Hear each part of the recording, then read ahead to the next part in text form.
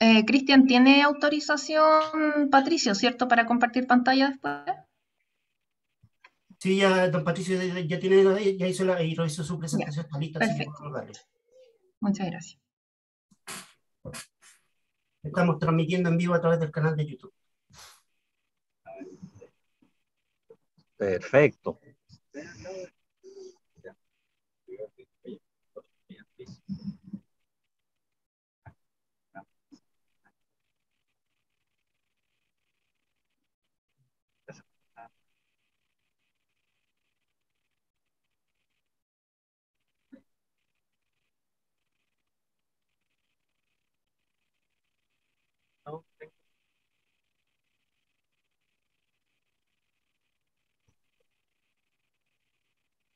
with them.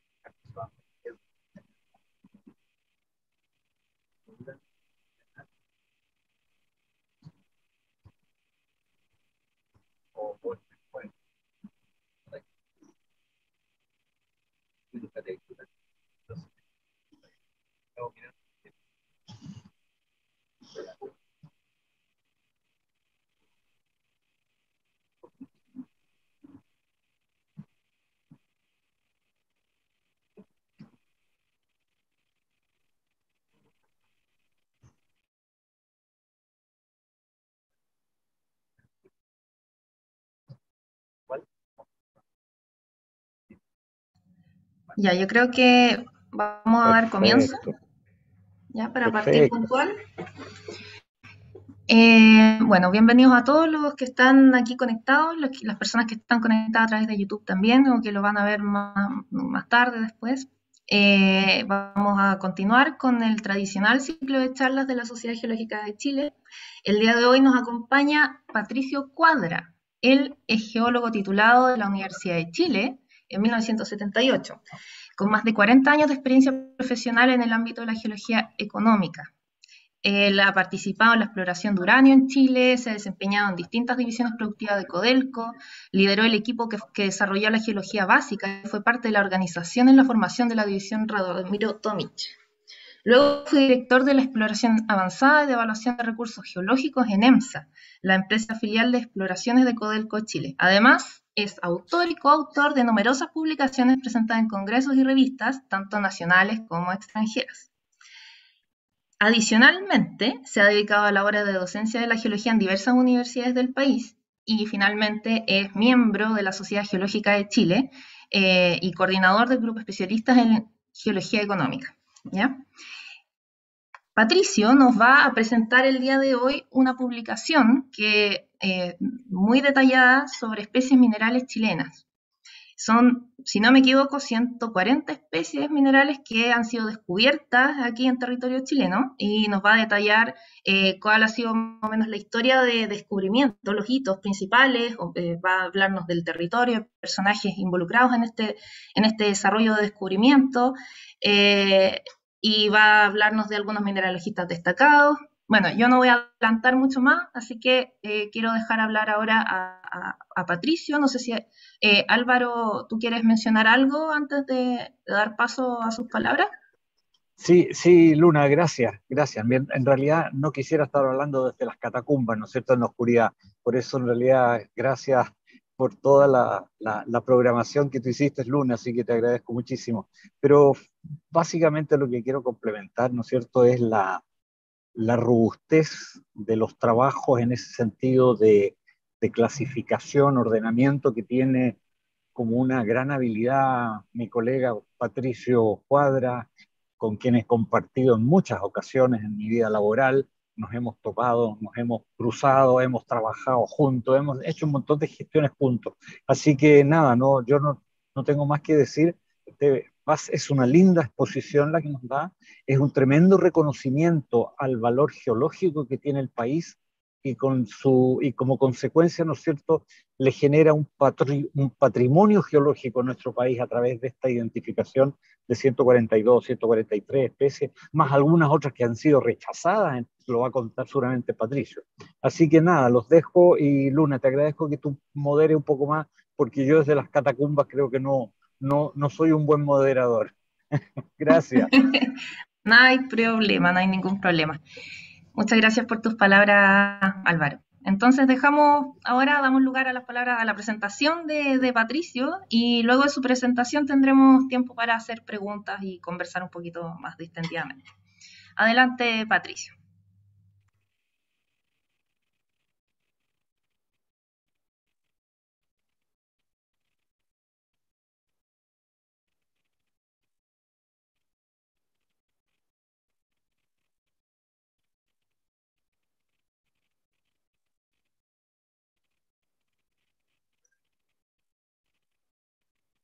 Bien, ¿me escuchan bien todos?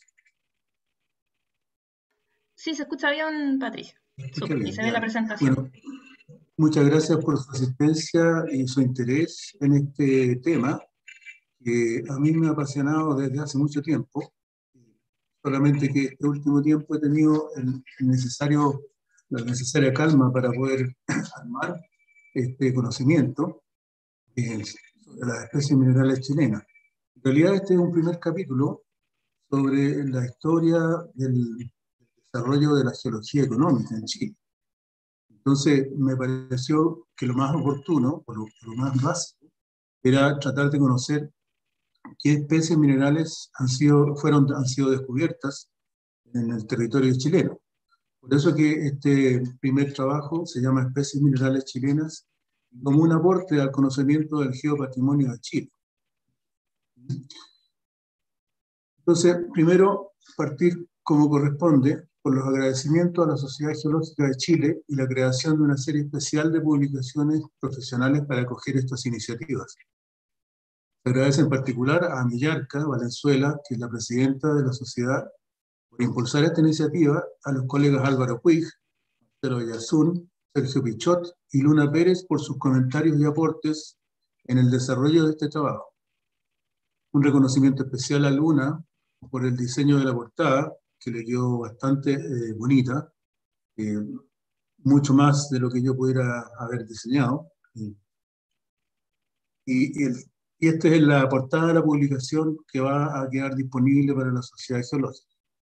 El, primero un resumen, ¿cierto? que está puesto acá, es una, un copy-paste de la publicación en PDF, eh, en base a un análisis de especies mineralógicas consideradas como válidas por la International Mineralogical Association, contrastadas con información contenida en diversas bases de datos, ¿no es cierto?, se determina la existencia de 140 especies minerales chilenas, las cuales en general están asociadas eh, estrechamente a la actividad minera, tanto metálica como no metálica, eh, desde pequeña hasta la gran minería en y principalmente en el norte de Chile.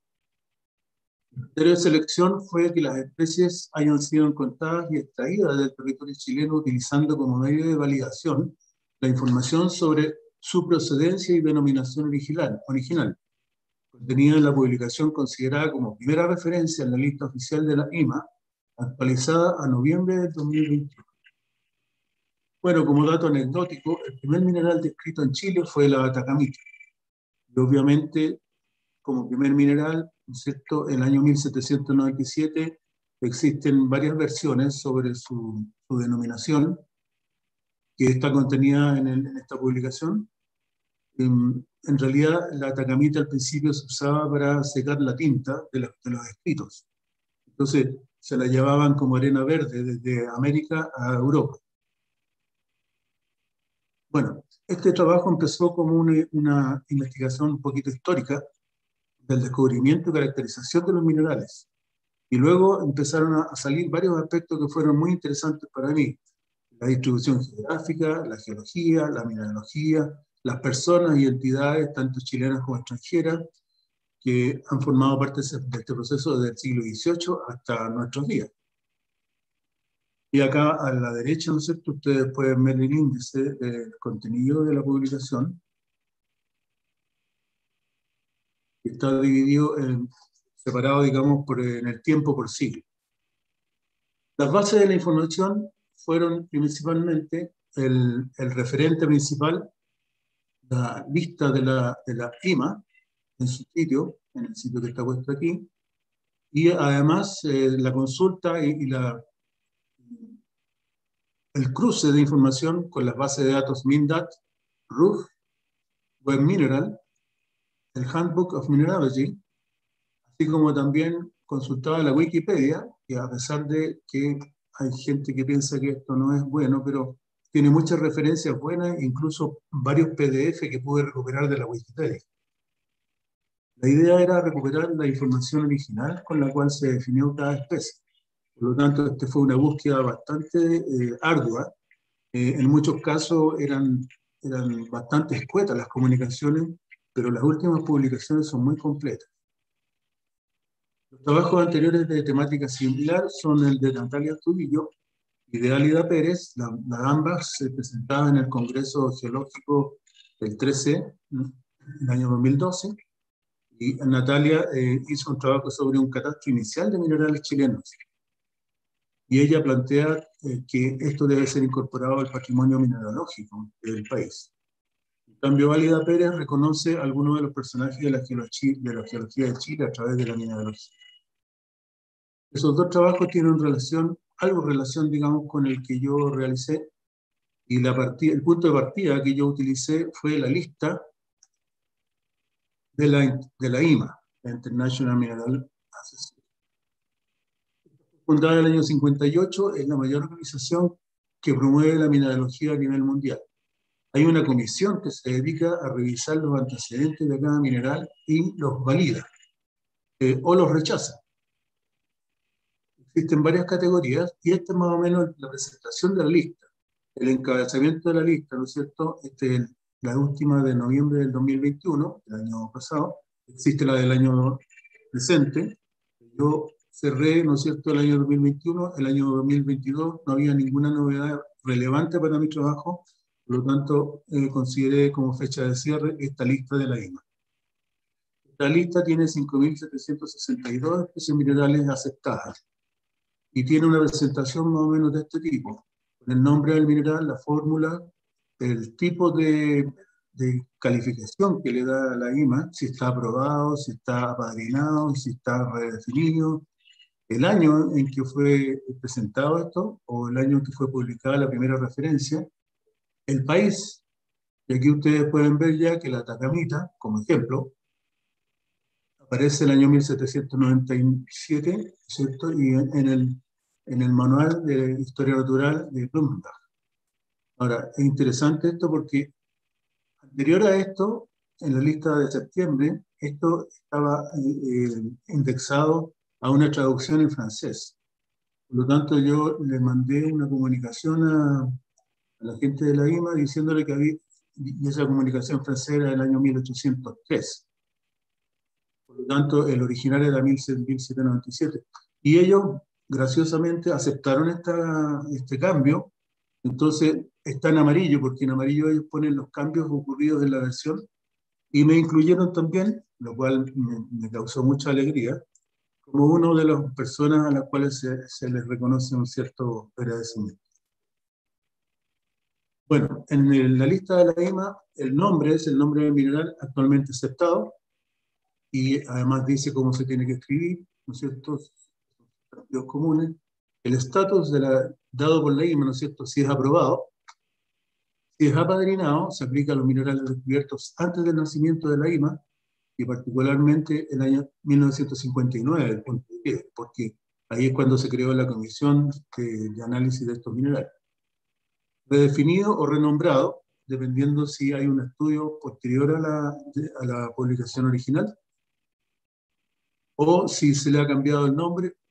En muchos casos, por ejemplo, la, IMA incluyó los acentos correspondientes a, cada lenguaje. Por ejemplo, eh, existe la tarapacaíta, y con acento. En inglés no hay acento, por supuesto, pero ellos aceptan que el castellano tiene eh, palabras con acento. Eh, la última categoría es la cuestionable, que hay, se aplica a minerales mal caracterizados y cuya validez podría ser dudosa. El país, obviamente, el país en que se descubrió el mineral por primera vez, según las fronteras nacionales al día de hoy. La primera referencia es la referencia original de cada mineral, que como ya les contaba, para la tacamita es la puesta acá en amarillo.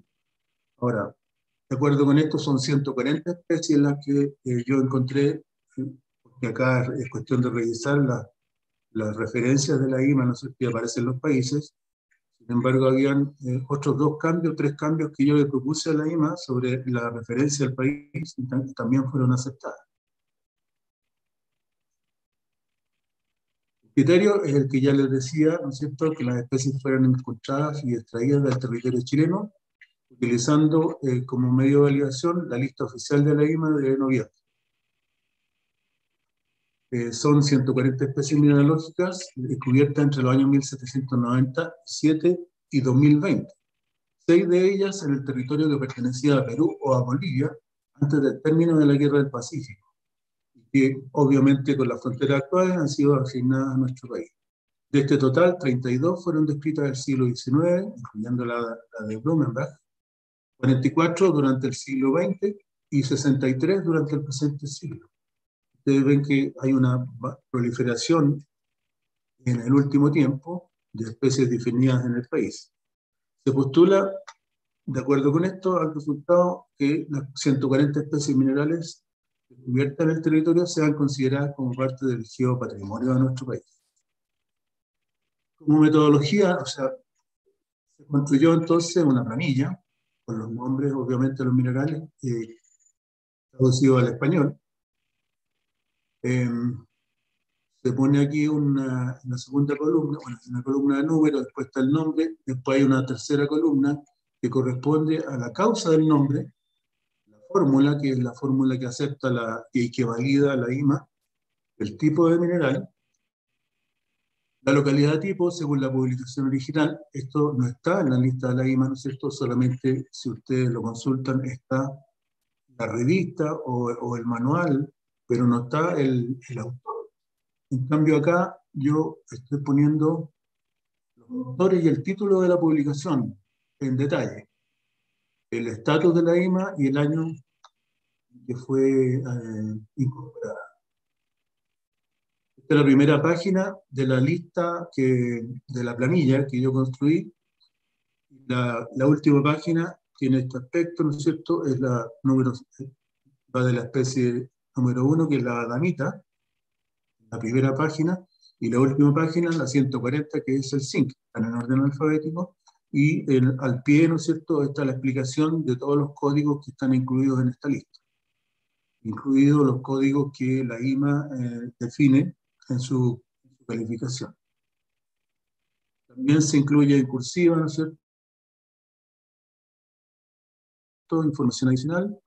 Eh, que incorporé de, otra base de datos, en, muchos casos, o en varios casos, mucho, la, la, referencia a la localidad tipo es solamente Chile. Pero en alguna base de datos hace una especificación y esa yo la incluí como dato ilustrativo.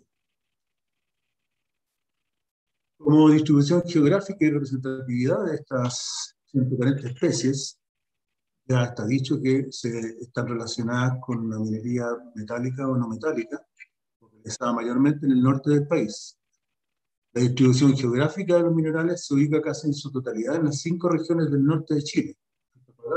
en orden de cantidad, con 59, Tarapacá con 46, Atacama con 21, Coquimbo con 10 y Arica y Parinacota con 3. Tan solo una especie se ubica preferencialmente en el sur del país, aunque no se dispone de su ubicación exacta. Se llama Kentrolita, es un silicato, el único silicato de la lista, eh, pero no se tiene eh, una ubicación más que eh,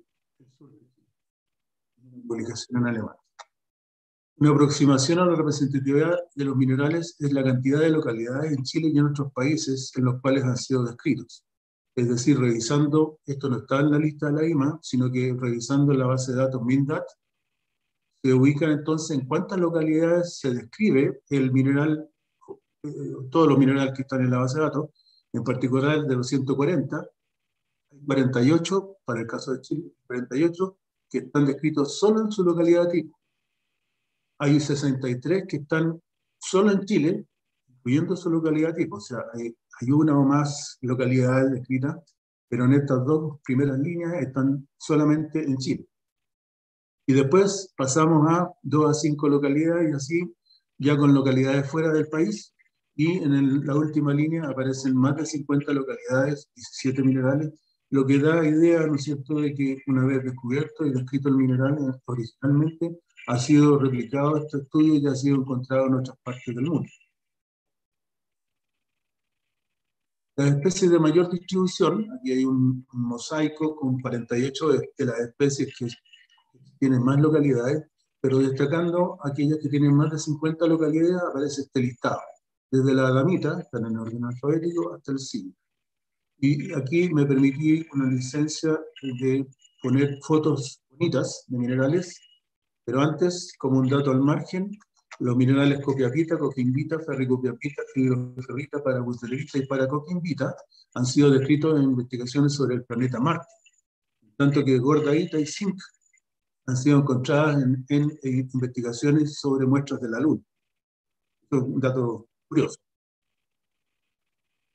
aquí están las fotografías de las especies de mayor distribución. La damita, este es un de México, es un arseniato de zinc, descubierto por Fidel en el año 1866. Atacamita, ya está dicho, Blumenbach, del año 1797, es un cloruro, un oxicloruro de cobre, y esta foto corresponde a la mina Lili de Perú. La copia pita, descubierta por Rose en el año 1833, es un sulfato eh, de, de, hierro, digamos, eh, hidratado. Esta foto de Santa María Mountains. La coquimbita, descubierta por o descrita por Breakup en 1841, es un sulfato hidratado. Esta es una foto de la mina Javier. La domequita, descrita por Heidinger en 1845, es un arsenuro de cobre. Y esta foto es de la mina Los Algodones de Chile. Perricopiapita, por Berry, en el año 1939, también es un sulfato hidratado de hierro, foto de la mina Alcaparrosa de Chile. La fibroferrita, descubierta también por Rose en el año 1833, también es un sulfato hidratado de la mina Alcaparrosa, Chile. El fosfodifano, descubierto por, o descrito por Kampf, y esta es la única de las especies distribución del siglo XX, 2006, perdón, del siglo XXI, un fosfato, cloruro fosfato de calcio y plomo. Esta es una foto de Cole Bain de Scott. Leucodot, descrito por Breithaupt y Plattner en 1849, es un arsenio duro de, de hierro, y este descubierto, fue descubierto la misma, o sea, foto de la mina WIT, que ya se va a poner muy de moda porque el cobalto es uno de los minerales críticos está eh, revisando actualmente. La nitratina de Heidinger 1845, un nitrato de sodio de la mina Lautaro. La paratacamita de Smith, de Smith 1906, es un cloruro eh, hidratado de cobre y zinc. Esta es una foto de la mina La Vendida, de Chile. La piqueringita de Hayes, 1844, es un sulfato también hidratado de magnesio y aluminio. Esta es una foto de Argentina de Sierra del Tontay. Eh, terminando entonces con la especie está la sideronatrita, descrita por Raimondi en el año 1878, y este es un caso de, de, los minerales que fueron descubiertos en el territorio peruano antes de la guerra. Raimondi fue un geólogo italiano que llegó a de la misma manera que llegó Domeico a Chile, llegó Raimondi a Perú, y representa más o menos un, papel que jugó Domeico en Chile. Eh, esta de la mina Coronel Manuel Rodríguez, eh, es un sulfato de sodio y hierro. La marubita, escrita por, por Hans Schulze, profesor de química de la Universidad de Chile, que murió en su laboratorio mientras hacía un, un experimento eh, salió un gas del experimento y lo encontraron muerto en su laboratorio. Y, fue eh, homenajeado y está en sus, cenizas están enterradas bajo la casa de la Universidad de Chile. Este es un sulfato de sodio y aluminio y las fotos de cerros pintados. Finalmente la ulexita de Dana, en el 50, que es un borato, hidratado del sodio calcio de la mina Bigadix distrito de Turquía. Eh, no puse el zinc porque realmente el zinc es muy conocido y es una foto que no, no, tiene mayores Como distribución regional, aquí todo esto está en la publicación, están los cuadros de todos los minerales por localidades. Entonces aquí tenemos en Tarapacá varias localidades que tienen muchos minerales descubiertos en el siglo XXI, donde pica lo mismo, etcétera entonces, aquí están las localidades que agrupan más minerales descubiertos en ciertas localidades. En la región de Antofagasta está la mina Chuquicamata como bastante descollante, una cantidad importante de minerales. Tierra Gorda, las saliqueras, y así, bueno, seguimos con esto. en la región de Arica y Panamacota, ¿no es cierto? Eh, una región nueva, tres minerales, la región de Atacama, típicamente minera, la región de Coquimbo, aquí hay interesantes minerales que se descubrieron en el Indio y en Catambo. Este es el mineral que está en el sur de Chile, que no hay mayor eh, detalle, en la quentrolita. En resumen, esto que está puesto acá, y aquí la ubicación de las principales localidades que se describen en el texto, son eh, estas localidades que tienen la mayor cantidad de minerales descritos. Como muchos de los minerales han sido eh, en homenaje o en reconocimiento a ciertos rasgos del territorio o a personajes destacados, aquí tenemos un, listado de, de, los lugares para los cuales se ha descrito o se ha nombrado el mineral. Por decir algo, digamos, la Camanchacaíta, es un mineral que da el aspecto de una densa niebla que es típica del, desierto de Atacama, Chile. Cuando se, se mira este mineral, ¿no es cierto?, tiene ese aspecto un poco nuboso. Por eso le pusieron camanchacaíta. Bueno, acá está la changuita, que es homenaje a los pueblos changos, ¿cierto? La piqueíta de Quique, la picadita, que es un homenaje a la cultura pica. Eh, bueno, y hay varias localidades acá que son eh, mineras. Alcaparrosaíta, ¿no es cierto?, que es un lugar bien interesante como localidad típico. También aparece la Antofagastaíta, que es un mineral nuevo, diferente a la Antofagastita, que definió eh, en algún momento, en eh, el año 38, fue posteriormente desacreditado, pero este es un mineral nuevo, Antofagastaíta. La región de Atacama tenemos el caso de la mina Alacrán, en mina de plata ubicada en el distrito de Palarga. Este es un caso curioso porque el, Clark, eh, Clark, definió eh, o estudió este mineral, no le puso nombre cuando lo describió en el año 70. Sin embargo, después se encontró en Rusia y él mismo aparece en la publicación y seguramente, pienso yo, él mismo le puso el nombre a la granita en, en reconocimiento a la mina Alacrán, a pesar de que el mineral está descrito como localidad tipo en Rusia. Entonces, eh, Nantoquita, que fue uno de los pocos, uno pocos minerales que eh, definió Domey, ¿cierto?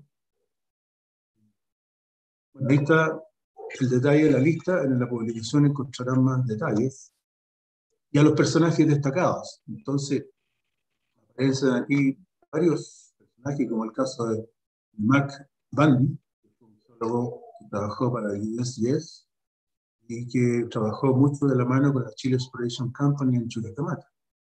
Andrés Bello, por supuesto, Juan Bruggen, Ignacio Domenico, próceres de la carrera de geología, ¿no es cierto? Carlos Ruiz Fuller, Héctor Flores, Humberto Salida, George Erickson, un geólogo que también trabajaba para el, Servicio Geológico de Estados Unidos, pero que fue destinado a trabajo de la. Eh, también tenemos acá la Humberstonita, ¿no es cierto?, por eh, Santiago Humberstone, eh, un destacado químico inglés, se dedicó a la industria del salitre. Valdemar Lindgren, que en sus comienzos hizo la, los primeros levantamientos de la mina del Teniente. Eh, tenemos aquí también a Rino Sales, vicepresidente de Anaconda, que impulsó mucho el conocimiento geológico, sobre todo en el y en El Salvador principalmente, donde se instaló un laboratorio de, de primer nivel, y ahí trabajaron, ¿no es cierto?, nuestros conocidos eh, John Hunt y Luis Gustav. Y tenemos aquí a Francisco San Román, explorador del desierto de Atacama, Viene una foto aquí del segundo rector de la Universidad de Chile, Manuel Antonio Tocornal, que solamente estuvo tres años porque falleció mientras era rector. Otros aspectos a destacar son cuántas especies del grupo de la tacamita han sido descritas también en Chile, descubiertas en Chile. Todas están acá. Eh, especies del grupo de la copiapita descubiertas en Chile, especies del grupo de la, de la coquiambita, y aquí hay un desafío interesante en cuanto a los sulfatos, porque en el caso de, de Mac Pandi estudió el yacimiento Chuquicamata, Quetena y Alcaparrosa como yacimientos de sulfatos. Y al final voy a, voy a proponer algo y, en la última lámina. En el caso de los yodatos, todos estos son los yodatos que están descritos, no hay otros. Todos los yodatos han sido descubiertos en Chile. Si ustedes revisan los libros entonces de, de mineralogía, van a encontrar que eh, el origen de la definición, de la descripción de los yodatos, todos tienen como localidad tipo algún lugar, lugar de Chile. Y aquí hay algo curioso que, que siempre del principio me llama la atención, porque hay dos localidades que tienen muchas especies, concentran muchas especies en poco tiempo, el año 2010 al año 2020, han sido descritas nueve especies en el, pabellón de Pica, en Iquique. Siete de estas especies están descritas solo en su localidad tipo. Por otro lado, en la mina Torrecillas de la región de Tarapacá han sido descritas 18 especies desde el año 2013 al 2020. 16 de ellas descritas solo en su localidad tipo buscando, ¿no es cierto?, las características de estas especies, tanto en pabellón de pica como en mina torrecilla, se, se, nota que son rarezas mineralógicas y muchas de ellas son eh, micrométricas o milimétricas.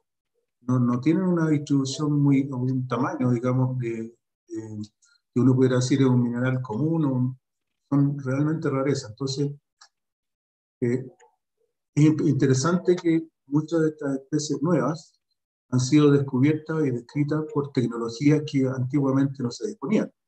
Por lo tanto, el revisar la información mineralógica con las herramientas actuales puede ser un tema bien interesante. Como comentario final, ¿no es cierto? Eh, se, se, dice, yo digo por lo menos que la, la National Mineralogical Association tiene un protocolo para propuestas de nuevas especies minerales, pero ella no va más allá que eso, no incluye su alcance de determinar la representatividad ni la importancia de cada especie. O sea, no, va a la utilidad de la especie si, si es, eh, tiene un, un, uso industrial o eh, tiene un papel o un rol geológico. Obviamente las publicaciones sí lo dicen, pero lo que hacen ellos es ver si la especie está bien definida, tiene un buen respaldo eh, por ejemplo, análisis químico, análisis de rayos X, etc. Entonces, aquí falta conocer cuál es la representatividad y la importancia de cada especie. En el caso de las especies chilenas, se podría trabajar en eso.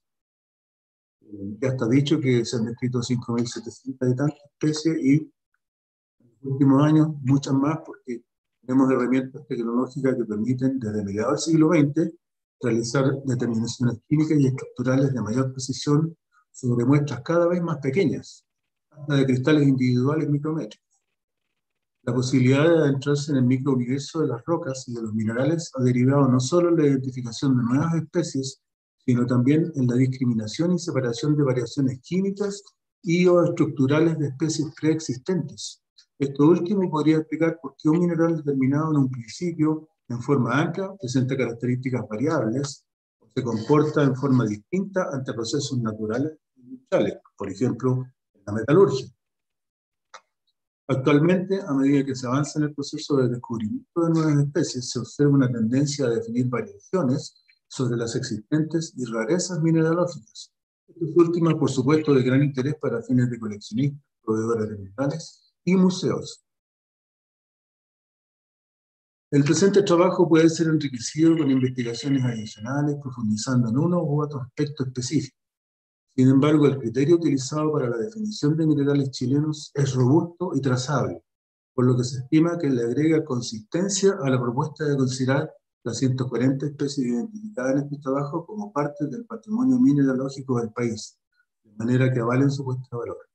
En este último objetivo, una tarea pendiente es la de determinar cuál es el rol que juega cada especie en términos de su representatividad y su utilidad científica u otra.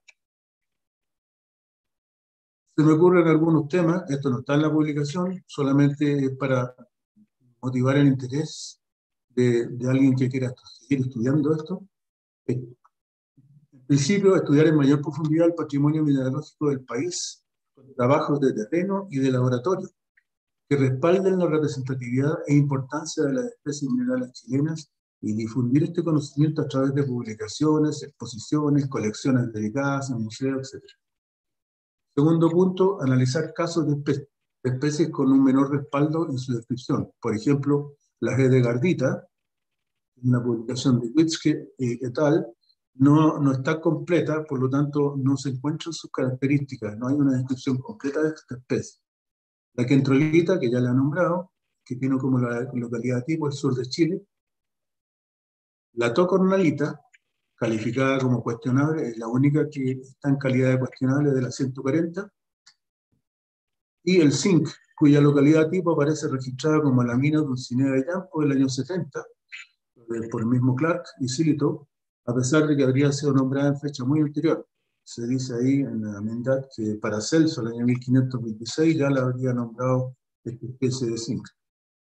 Revisar localidades con un gran número de especies descritas, que es lo que yo les decía de pabellón de pica y mina tabacilla, que habría que hacer un trabajo de terreno y ver cuál es su, su representatividad, distribución, qué papel juegan dentro del yacimiento. Esto estas especies de pabellón de pica y mina torrecilla tienen la particularidad que están definidas bajo depósitos de guano. Por lo tanto, son mm, especies metalorgánicas.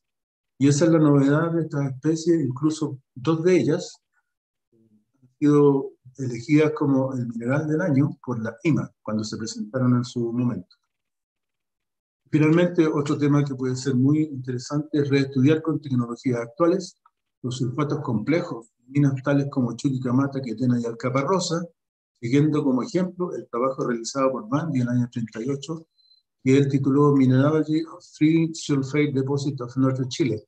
Esto es interesante porque en ese tiempo, en el año 38, todavía no se descubría la parte de abajo, o sea, no, no se desarrollaba la parte de abajo de Chuquicamata, por lo tanto, estaba fundamentalmente explotando óxidos y probablemente pellizcando un poco los sulfatos secundarios. Por lo tanto, muchos de los minerales que estaban en la parte cercana a la superficie eran eh, minerales oxidados, como el caso de los sulfatos. Y finalmente, pues ya como lo adelantó Álvaro, está presentada, sometida a, examen por parte de la Sociedad Geológica, el trabajo complementario que son las especies minerales chilenas cuyos nombres fueron desacreditados y ahí tenemos otras 41 especies descritas, pero estas ya no están en el listado de la IMA, sino que están en, otra, en, otras publicaciones históricas, pero sí es interesante que MINDAT tiene registrado todas estas especies que se han perdido en el tiempo. Por lo tanto, es interesante base de datos, eh, se recomienda su consulta.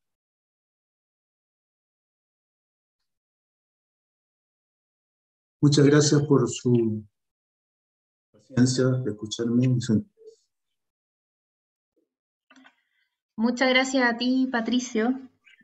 Muy interesante tu presentación. Tu, bueno, tu trabajo yo ya lo había visto porque estuvimos en proceso de edición, digamos, de, eh, revisión, después del tema de la portada, hasta que se consagró eh, el resultado final que eh, es, tremendamente, o sea, un insumo tremendamente eh, interesante para muchos profesionales y gente aficionada también, personas interesadas en la gemología. Em, Álvaro, tienes la mano levantada, puedes decir palabras, porque ahora pasamos a la parte de las palabras, así que hablemos nomás. Dale, Álvaro.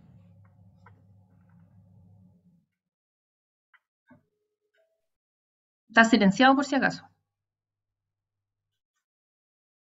Ya bueno, mientras logra desilenciarse, termino de mencionar, bueno, eso, eh, eh, mencionar que para la Sociedad Geológica es un, orgullo en el fondo respaldar, patrocinar este tipo de, trabajo. ahora parece.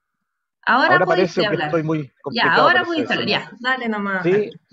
sí. Bien, pero es que parece que estoy muy complicado de señal. Bueno, de todas maneras, mira, el, foco fundamental es agradecerle a Patricio Cuadra, no solo su texto, sino también lo, la exposición, que la, entendí muy, muy dinámica y, para temas que en lo personal no lo son, ¿no es cierto? Eh, muy entretenida en ese aspecto y, y, caracterizando esas estadísticas de que los yodatos son todos descritos en Chile, eso da a conocer lo que, la importancia que tiene Chile dentro del contexto de la geología mundial, ¿no? Ahora, pero quiero finalmente destacar una cosa bien importante, que es la generosidad de Patricio en haber puesto toda esta información que le ha costado su tiempo, su, dedicación sistemática y todo lo demás, a la, a, disponible para la sociedad geológica, para que a través de este canal lo podamos ver toda la sociedad, todo el mundo profesional, todo el mundo académico, más toda la sociedad, los estudiantes que les interese o que tengan motivación por el tema. Yo no sigo conversando por la incomodidad en la cual me encuentro, pero sin embargo, por favor, adelante con las preguntas que le podamos hacer a Patricia. Gracias, Álvaro. Eso, eh, sus preguntas háganlas llegar o levanten la manito. Eh, yo ahora estaba mirando en YouTube a ver si habían preguntas, pero no me carga bien porque yo también estoy con mala señal. de hecho, se me cayó el internet un, par de minutos, pero... Todavía no hay preguntas en YouTube. Ya. Ah, ya, gracias, Cristian.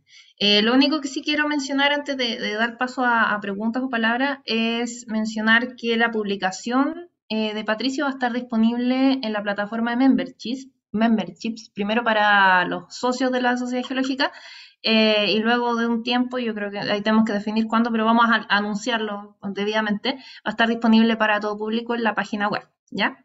Eh, además, este, este, esta publicación viene a consagrar una, o, inaugurar, podría decirse, una serie, serie de difusión que queremos proyectar desde ahora en adelante en la sociedad geológica de, eh, de distinto índole. En algún, en, por un lado, serie de difusión profesional y otras más de, eh, amplio interés para público general, entre comillas. Así que este va a ser el primer número y muchas gracias también, concuerdo con Álvaro en darte las gracias por tu generosidad en querer compartir este conocimiento que tú tienes de manera tan ordenada y, ahora con la, presentación tan dinámica también. Así que muchas gracias. Ya, voy a dar la palabra ahora a Manuel Chilin, que tiene la mano levantada. Muchas gracias, Luna. Eh, bueno, sumarme también a las felicitaciones a Patricio por el tremendo trabajo, digamos. Eh, creo que era muy necesario, digamos. Eh, qué bueno que, te has dado el tiempo y has dedicado, digamos, tanto conocimiento y, a, poder difundir esto, este tema. desde el trabajo de Natalia, efectivamente, que fue eh, al menos yo lo uso mucho, digamos, lo, lo, uso actualmente en mis clases, digamos, a los chicos de cristalografía y que también ven mineralogía, eh, a que estudien los minerales chilenos, incluyendo los nuevos que han, que han aparecido en los últimos que mencionas.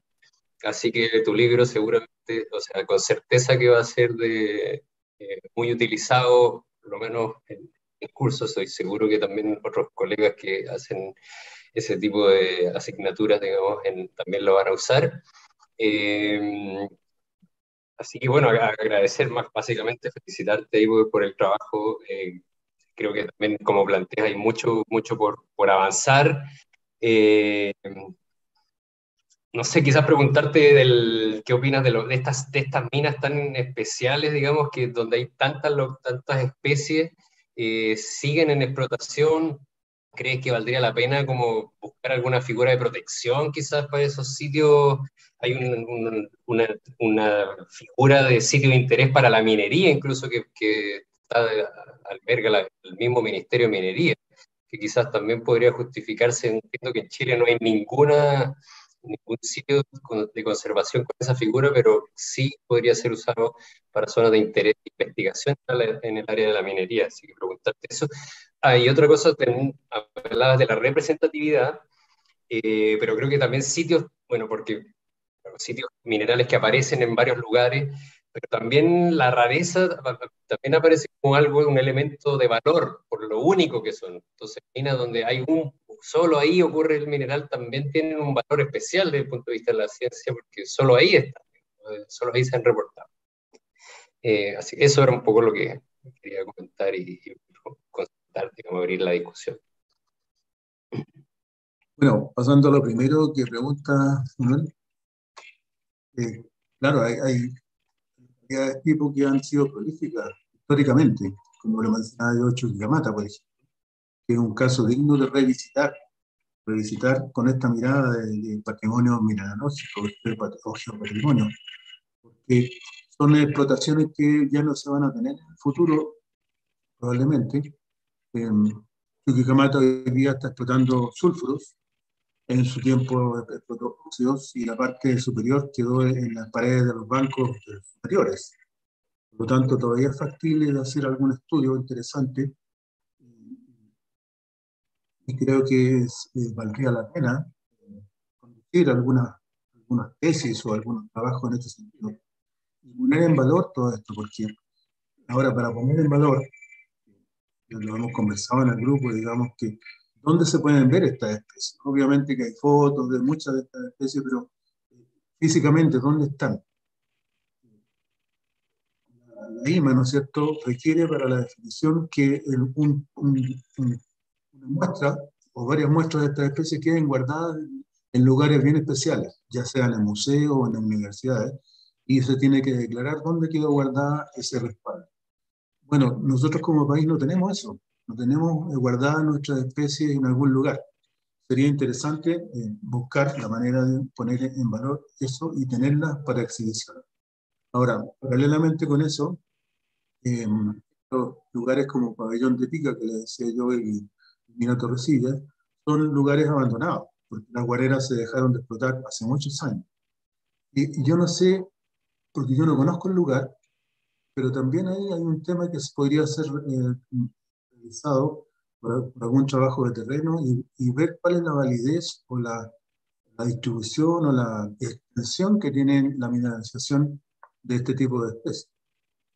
Porque lo que, lo que publican ahí los, autores, que son grupos, grupos de autores, son generalmente, incluyen fotos de minerales que tienen milímetros o, kilómetros, millones. Entonces da la idea que eh, han sido buscados con pinzas los minerales. Eh, ahora es notable que esta cosa de la representación de la especie en general, ya estamos hablando desde las expediciones científicas de los siglos XVI, XVII, XVIII, siempre ha habido interés por, eh, por capturar, ya sean especies vegetales, animales, minerales, por la, por la gente del pueblo europeo, y, ha habido excursiones, eh, específicamente excursiones geológicas que han sido dirigidas hacia nuestro país. Es interesante eso porque han sido financiadas por museos. Entonces eso nos habla del interés que existe de, de ciertas entidades, ya sean universidades o museos, de tener estos equipos de investigadores que van a lugares y tienen herramientas tecnológicas que hacen una caracterización muy, muy detallada de cada especie.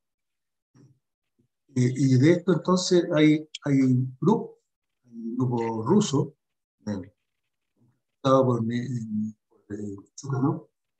que eh, llamado Pabellón de Pica, y otro grupo eh, encabezado por el norteamericano Anthony Kampf. Y Anthony Kampf es famoso por definir especies mineralógicas en el mundo, ha definido más de 300 especies. O sea, hay gente, geólogos que se dedican a eso específicamente. Entonces, este es un mundo que parte de la parte científica con el conocimiento de los yacimientos, pero ha derivado en la curiosidad de los museos, de, las universidades, por tener este patrimonio o este conocimiento mineralógico que paradójicamente en, el país no lo tenemos. No tenemos lugar donde ir a ver. O donde, donde podamos disponer de tecnología para poder analizar esto.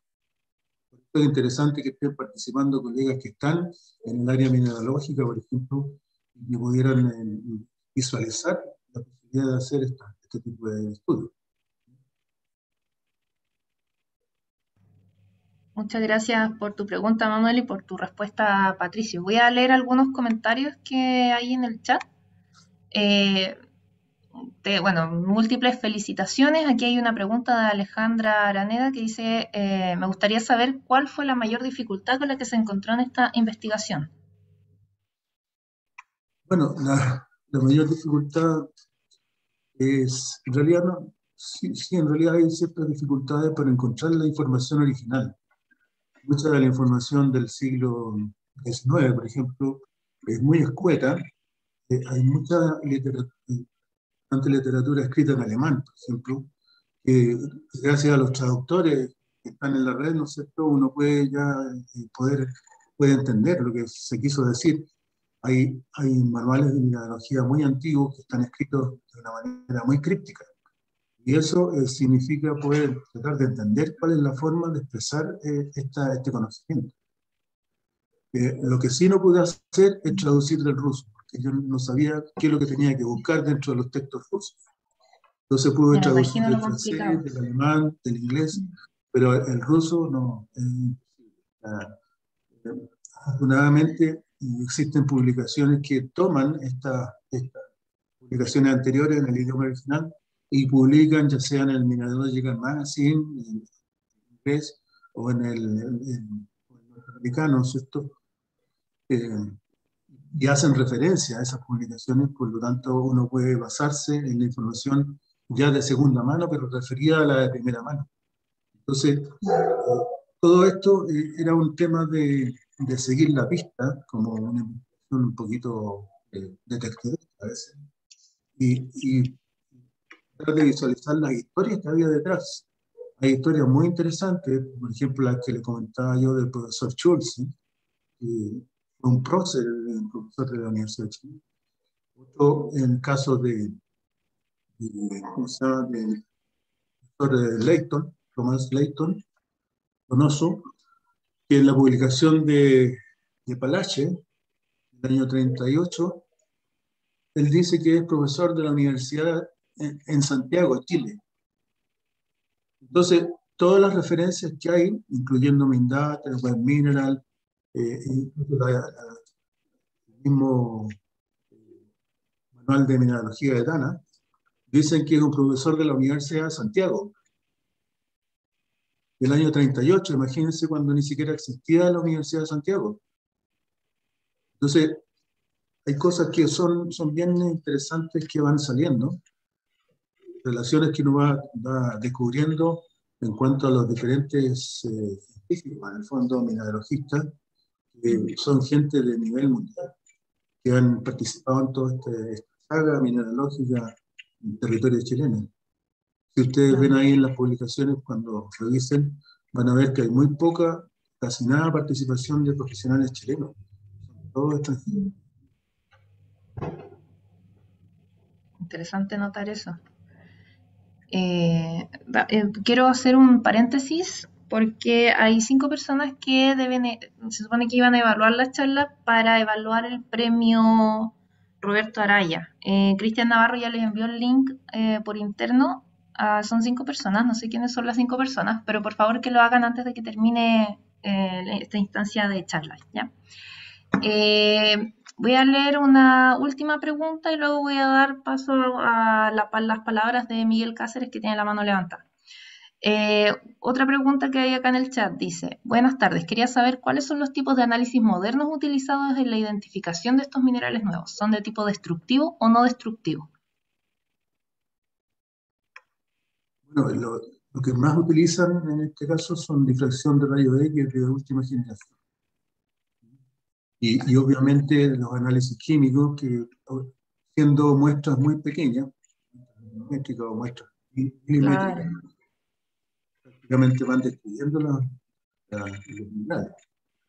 Pero son... Eh, Y lo otro que utilizan desde el siglo, desde mediados del siglo XX, digamos, son eh, eh, análisis cristalográficos, para lo cual usan mucho la difracción de Rayleigh, microsonda, y ellos determinan entonces eh, la forma de los cristales y miden los ángulos piedros de los cristales para poder determinar los sistemas cristalográficos en que se, se, desarrollan estos minerales.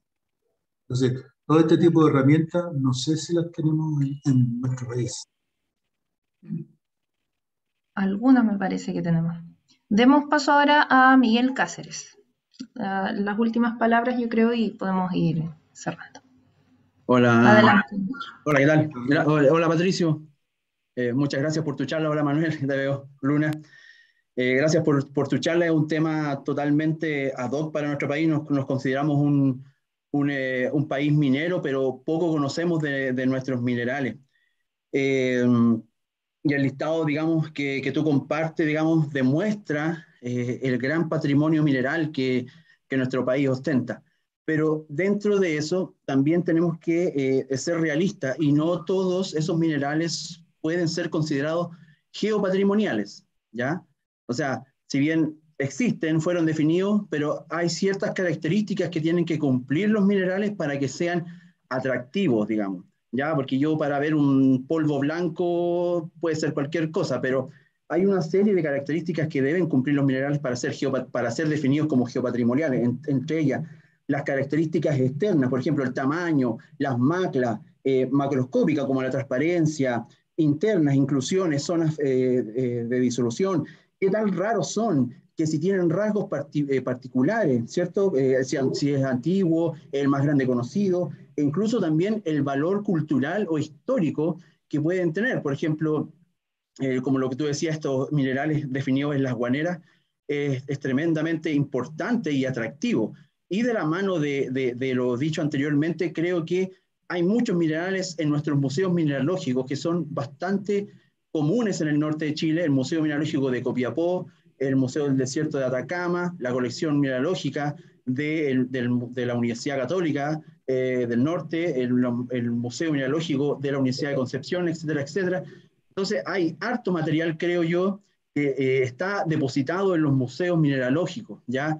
Y estos mismos museos también eh, caen en, en, el tema de que no tienen los suficientes recursos para investigar, como tú bien dices, con, con con técnicas analíticas modernas, ¿cierto? Todo esto se basa mucho en la descripción macroscópica y con lupa, la identificación. Entonces, creo yo que hay una gran oportunidad eh, de revisitar las colecciones mineralógicas de nuestros museos mineralógicos, ¿ya? Eh, porque por el otro lado también eso que tú mencionabas que, o sea, las colecciones mineralógicas no son solamente una, una una, cantidad de muestras que están estáticas, que son bonitas, que están agrupadas en un edificio. Pueden, ser, pueden llegar a ser, digamos, centros de investigación mineralógica para descubrir, descubrir nuevos, nuevas, nuevas especies, pero también para definir o redefinir eh, la historia o la paragénesis que tiene un yacimiento o que tuvo un yacimiento mineral hoy agotado. Por ejemplo, las primeras partes de, de Chuquicamata que ya no existen, pero sabemos qué minerales hay y sabemos también eh, gran parte de ellos están depositados en distintos museos alrededor del mundo.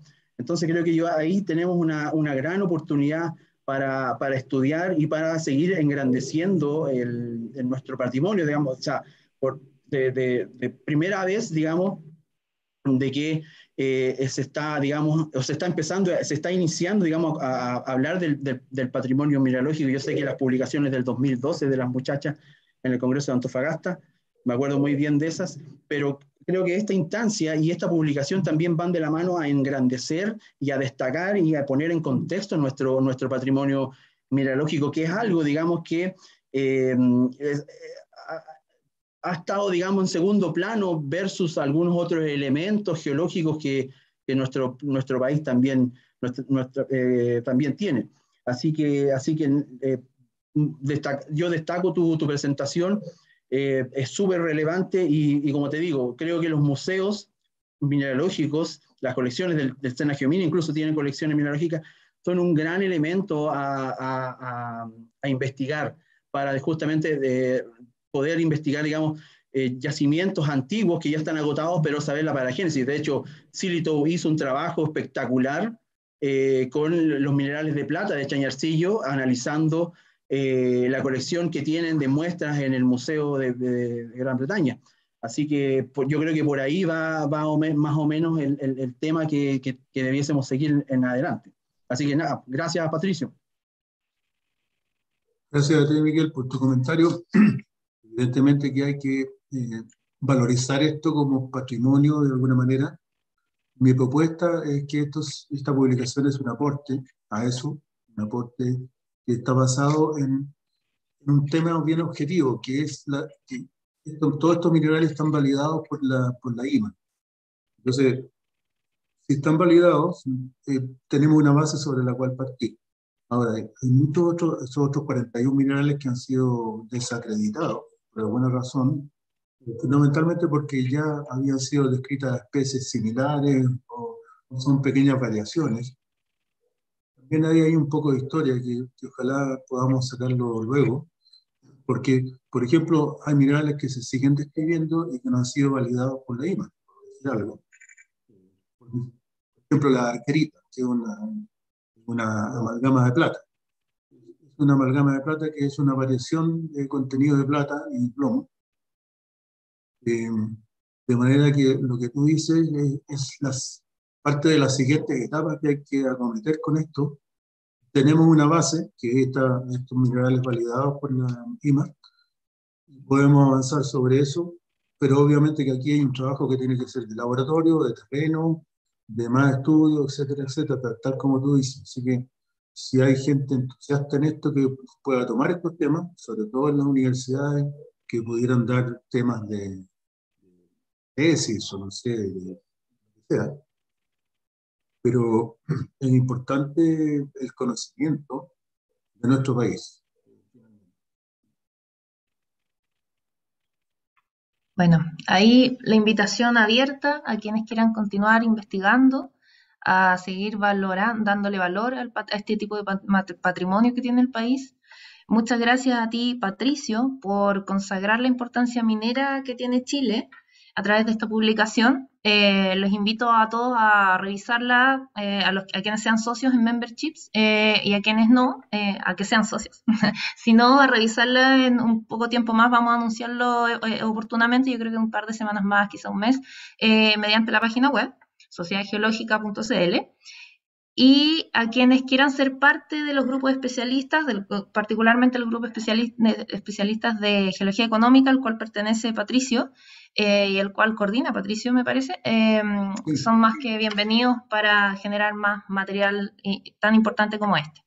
Así que, sin más que agregar, muchas gracias nuevamente, Patricio, gracias a, todos los que están presentes, a quienes van a ver este video en el futuro. Y va a quedar en YouTube, en el canal de YouTube de la, de la Sociedad Geológica, para quienes lo quieran revisar eh, posteriormente. Si es que lo quieren volver a mirar, eh, si es que quieren contactar a Patricio, nos escriben.